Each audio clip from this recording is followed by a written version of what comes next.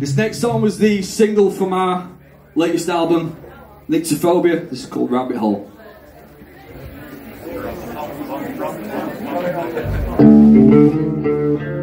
Thank you.